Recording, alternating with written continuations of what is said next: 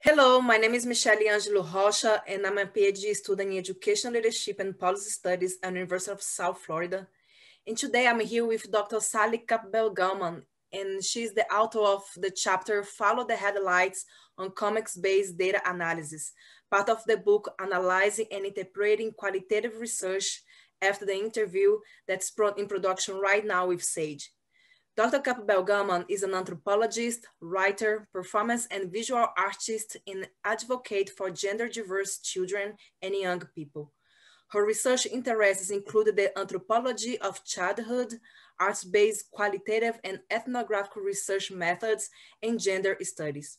She is the principal investigator of the Gender Moxie Project, this project was funded by the Spencer Foundation and it focused on understanding transgender and other gender diverse children in children's experiences and resiliences through an interdisciplinary and art-informed lens.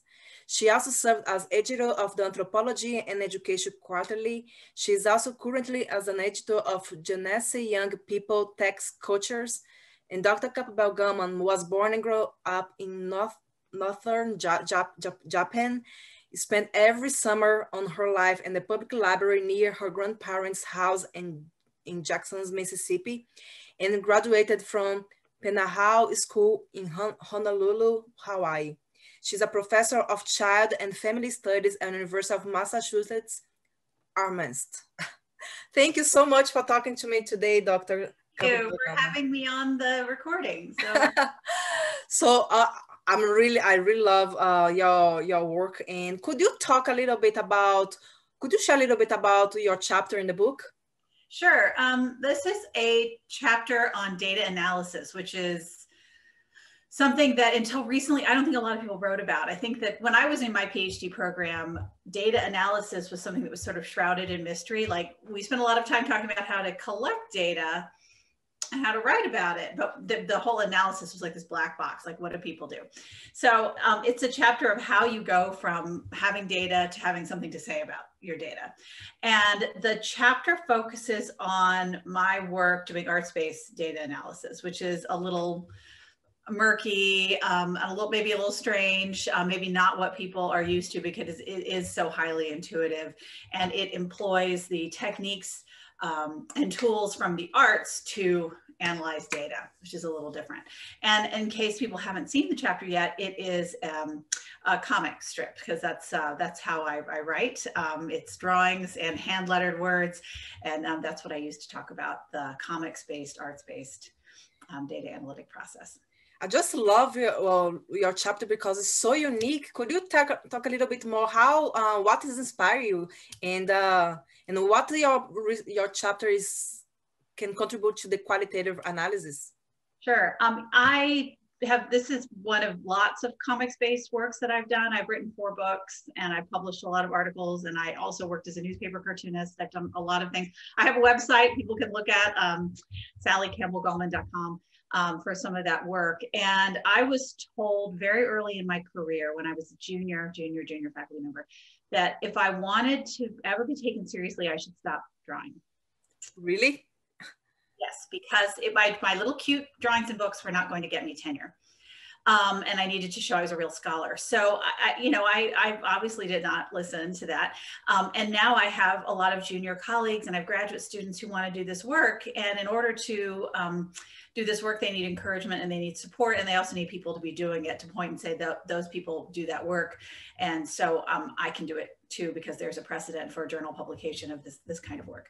So when um, when I made full professor, I decided I wasn't going to do any more what we call in the in the industry called straight work, right? I was going to draw everything um, for that, for political and professional reasons, and also because that's how I think and it's how I communicate. And I do believe in arts-based work at its uh, place in the academy, and that's a way I can I can foreground that. Um, writing the chapter was it's very hard because to sit down and write something in Word, if you make a mistake, you just delete and you fix it. If you do something, make a mistake, this you have to redraw the whole thing. Okay. Um, so it's, and it takes so long to do the hand lettering. So it's really an intensive labor of love and you come out of it, um, I think you come out of it transformed because of the amount of sweat that goes into producing something, especially something as big as this. This was, I think, 18, 19 panels. And it took me, you know, it's about 15 hours to do one panel and that's independent of actually writing it and figuring out what's going to the, the, actual content of what's going to go in there. So um yeah so that's that was the impetus behind the, the piece. So uh, this was the most challenge that you faced during the process of writing a chapter I think this was the hardest because I was trying to, I mean, anytime you're talking about data analysis, it's difficult because it's very individualized and it's very intuitive and it's very, um, people, everybody has their own thing. And trying to frame how you do that in a way that is, uh, reflects its systematic, principled, orderly nature is hard. So writing anything about data analysis is hard. Drawing this was difficult, drawing and writing it, because there was so much to get across and when you're doing arts-based work, you're not just trading in words, although those take a very long time because you have to do the little tiny hand lettering, but also figuring out what are the what are the images, what what are the things that are going to drive this piece, and that's a lot of time thinking and sketching and reflecting and what because they have to all count, right? You only have so much space. So what are the metaphors that are going to be in this piece? How are you going to reflect these ideas? Because the images have to speak also. They're not just decoration, they're part of the conversation. Um, so that took a very long time just to figure out how was I going to reflect this. And I was lucky enough um, to be able to draw on some work from a friend and longtime colleague, Marcus Weaver Hightower and his colleagues. Um, he does something called comics-based research which is a great term that I wish was around 20 years ago, but now it is.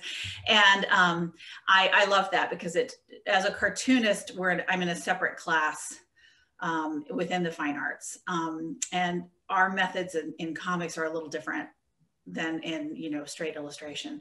So it was great to be able to frame it that way. So i really was able to find some great material but it was a real labor of love putting it together. I can't wait so people have access to your chapter and they can read it yeah so, so thank you so much for coming talk to me today course, and, and, soon uh, your chapter is going to be uh, available to to everybody who wants to read it I'm really excited about it. I'm eager to teach with it.